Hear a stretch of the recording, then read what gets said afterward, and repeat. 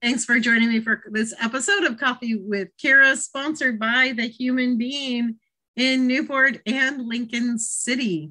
And today I am being joined by Erik Knoder with the Oregon Employment Department. Hi, Erik. Hi, Kiera.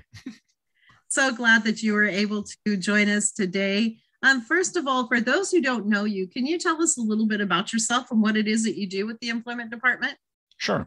I'm uh, I'm basically a researcher. I'm a regional economist for the Oregon Employment Department. I work uh, before the pandemic mainly out of the Newport field office, and I um, I generate and help um, help people understand labor market information, uh, primarily in Lincoln, Tillamook, Clatsop, and Columbia County. So all the way up to Astoria, and then and then down to St. Helens as well.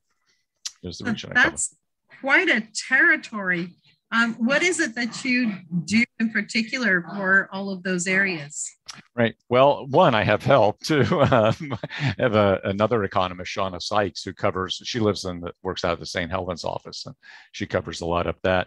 Um, I tend to actually spend a lot of my time updating spreadsheets, as exciting as that sounds uh, for economists, but um, we still have a lot of Excel spreadsheets and we keep track of information, things like unemployment rates, the number of people who are unemployed, the number of people who are working in each county, um, and what industries they work in, what their wages are.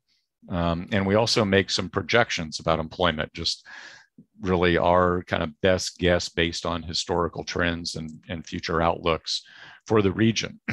Um, so we do a 10 year projection of and that's primarily to help um, job seekers and students and community colleges kind of plan for the future. What's go- what's going to be in demand for the future, where the, where the job's going to be.